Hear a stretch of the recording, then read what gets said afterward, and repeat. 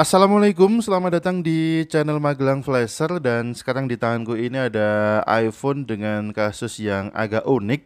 Jadi iPhone ini mau dijual dan ternyata tidak bisa direset. Kita sudah coba masuk ke menu pengaturan umum, kemudian atur ulang iPhone dan hapus semua konten atau reset iPhone, ternyata tidak bisa. Ketika kita pilih menu hapus iPhone, tidak ada reaksi apa pun. Dan ini juga kemarin ada pertanyaan yang sama, iPhone tidak bisa direset. Ketika melakukan reset malah masuk ke tampilan menu.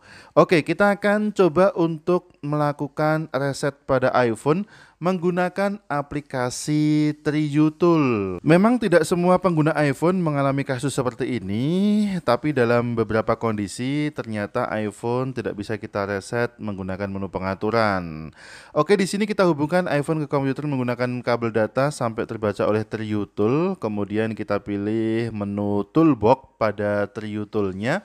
Selanjutnya di sebelah kiri ada menu erase all data. Kita bisa pilih menu ini, kemudian kita bisa centang di bagian seri iPhone-nya dan kita pilih menu erase all data. Kemudian bisa kita centang ketiga opsi ini. Jika ada ID iCloud-nya, bisa teman-teman loginkan di sini dulu untuk ID iCloud-nya.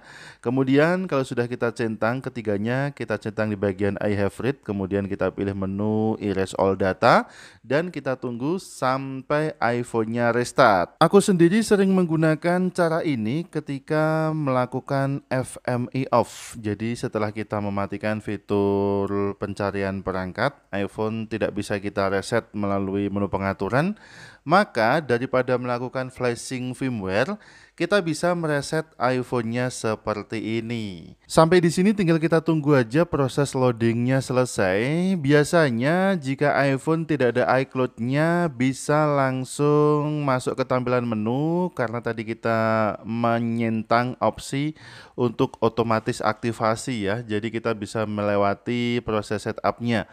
Tapi mungkin iPhone ini ada iCloud-nya apa enggak ya tadi aku lupa ya. Lalu bisa kita aktifkan iPhone ini dengan menekan tombol home, tapi kenapa ini tombol home-nya ora iso dipencet? Tetap tenang ya, kita akan coba aktifkan iPhone ini walaupun tombol home-nya nggak bisa dipencet. Kita menggunakan Triutul lagi, kemudian di Triutul kita pilih menu Accessibility. Lalu kita aktifkan di bagian Assistive Touch-nya. Selanjutnya tinggal gunakan Assistive Touch sebagai pengganti tombol home untuk mengaktifkan iPhone ini dan sekarang bisa kita setup sampai ke tampilan menu. Oke, terima kasih sudah menyimak video ini. Mudah-mudahan bermanfaat. Sampai jumpa di video selanjutnya.